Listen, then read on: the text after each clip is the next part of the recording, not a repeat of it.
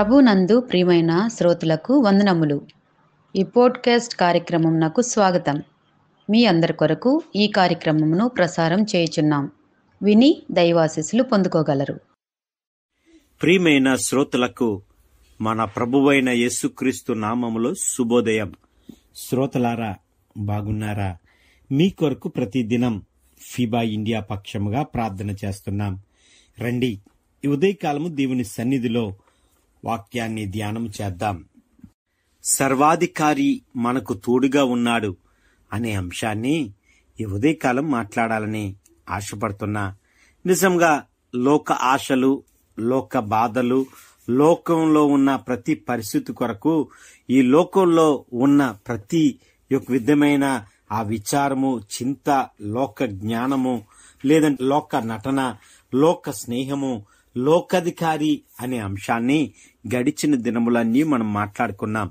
ఈ ఉదయకాలం సర్వాధికారి మనకు తోడుగా ఉన్నాడు అనే అంశాన్ని మీ మధ్యన జ్ఞాపకం చేయాలని ఆశపడుతున్నా. మత్తే సువార్త ఇరవై ఎనిమిదవ అధ్యాయం పద్దెనిమిది నుంచి ఇరవై వదిన వచ్చిన భాగాల్లో సర్వాధికారి ఎవరు అని ఆలోచిస్తే యేసు శిష్యులతో పరలోకమందును భూమి మీదను నాకు సర్వాధికారియు ఇవ్వబడింది. యుగ సమాప్తి వరకు మీకు తోడుగా ఉంటాను. మీరు వెళ్ళి సమస్త జొన్నను శిష్యులుగా చేయుడి అని దేవుడు చెప్పాడు. ఈ లోకంలో ఏ మనిషి అయినా మనకు ఎన్నాళ్ళు తోడుగా ఉంటారు? తల్లిదండ్రులు అవ్వచ్చు భార్య అవ్వచ్చు భర్త అవ్వచ్చు పిల్లలు అవ్వచ్చు. కొన్ని సంవత్సరాల వరకే మన ప్రక్కన ఉంటారు. మ- కానీ మన జీవితం వరకు మనతో జీవితాంతం వరకు మనతో ఉండగలవాడు యేసు మాత్రమే. ఆయన యందు విశ్వాసం ఉంచితే ఆయన కాపుదల మనకు ఉంటుందని మనము తెలుసుకోవలసిన ఆవశ్యత ఉన్నదని దేవుని వాక్యం తెలియజేస్తుంది. మనము సాధారణంగా ముసలితనంలో ఎవరు మనతో తోడుంటారు? రోగం వచ్చి మంచాన పడితే ఎవరు మనల్ని చూస్తారు?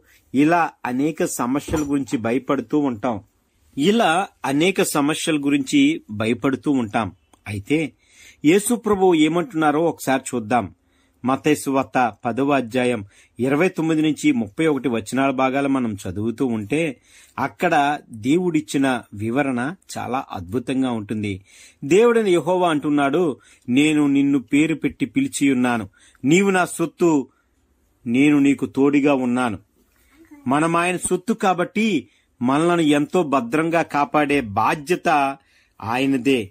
మనం మన సొత్తుగా ఉన్న దాన్ని ఎంతో భద్రంగా కాపాడుకుంటాం కదండి. అలాగే మనము కూడా దేవుని సొత్తిగా ఉన్నాం అనే విషయాన్ని దేవుడు మనకు తెలియజేస్తున్నాడు. అన్ని విషయాల్లో దేవుడు మనకి సహాయం చేసేవాడిగా ఉంటానని దేవుడు మనకి వాగ్దానం చేస్తున్నాడు. యోబు దేవుని హస్తంలో భద్రంగా ఉన్నాడు. అతనికి హాని చేయడానికి సాతాను దేవుని సెలవు కావలసి వచ్చింది. నిజంగా వెళ్ళాడు. వెళ్ళి యోబు గురించి దేవుడు యోబు కొరకు చెప్పినప్పుడు సాతానుడు పర్మిషన్ తీసుకున్నాడు దేవుడి దగ్గర. మనకు కూడా ఏ అపాయము రాకుండా దేవుడైన యహోవా కాపాడుతున్నాడని బైబిల్ చెబుతుంది. కీర్తనల గ్రంథం నూట ఇరవై ఒకటి ఏడులో మనం చూసినలా ఆయన మన శరీరాన్ని మన ప్రాణాన్ని కాపాడుతున్నాడని నమ్మి ఆయన అడుగుజాడల్లో మనం నడవలసిన అవసరం ఉందని దేవుని వాక్యం తెలియజేస్తుంది. ప్రవక్త అని ఎలీషాకు దేవుడు ఏర్పాటు చేసిన కంచె నిజంగా అనేక రకాలుగా దేవుడు మనల్ని కాపాడుతూనే ఉన్నాడు. ఈ యుగ సంబంధమైన దేవత సాతాను మనలో మనోనేత్రాలను గుడ్డితనం కలుగు చేస్తుంది ఆ గుడ్డితనం వల్లనే ప్రభు మనకు పెట్టిన కాపుదలను మనము చూడలేక భయపడిపోతూ ఉంటాం. దేవుని కార్యాలు చూడాలంటే మనకు ఈ బాహ్య కన్నులు చాలవండి. మన ఆత్మ కన్నులు తెరవబడాలి. అప్పుడే మన చుట్టూ దేవుడు ఏర్పాటు చేసిన కాపుదలను మనం చూడగలుగుతాం. ప్రతి పనివాడికి ఆత్మ దృష్టి లేదు. శరీర సంబంధమైన కన్నులతోనే ప్రతి ఒక్కరూ చూస్తున్నారు. ప్రియమైన శ్రోతలారా దేవుని కార్యాలు మీరు చూడాలి అనుకుంటే ఈ బాహ్య కన్నులు సరిపోవండి. ఆత్మ కన్నులు కావాలని మరొక్కసారి మీ మధ్య జ్ఞాపకం చేస్తున్నాను. మనకు ఆత్మదృష్టి కలిగితే మనల్ని కాపాడు కొరకు తన చుట్టూ దేవుడించిన అగ్ని కంచెను మనం చూస్తాం. అగ్ని గుర్రముల చేత నడపబడే అగ్ని రథములు పరలోకం నుండి దిగి వచ్చి మన చుట్టూ కాపు కాస్తున్నట్లు చూస్తాం.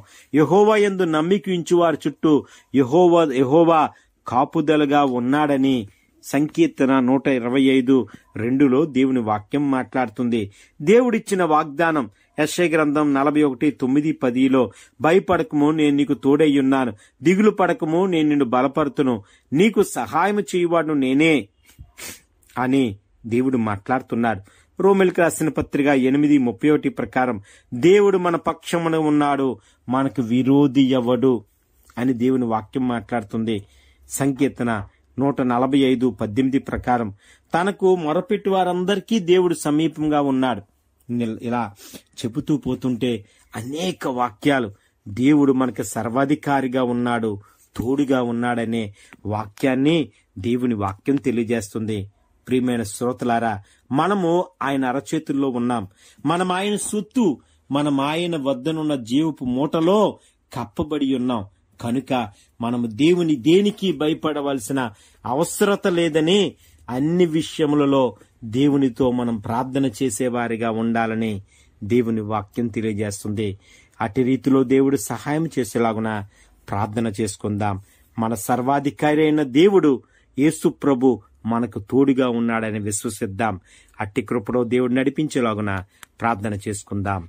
అమేన్ ఈ కార్యక్రమంను గూర్చి మీ సలహాలు మరియు మీ ప్రార్థన అవసరతల కొరకు మమ్మను సంప్రదించవలసిన మా ఫోన్ నంబర్ తొమ్మిది నాలుగు ఎనిమిది మూడు సున్నా ఒకటి మూడు ఒకటి మూడు ఆరు మరియు email ID info at viva online dot org మా ఫోన్ నెంబర్ మరొకసారి nine four eight three zero one three one three six మరియు email ID info at viva online dot org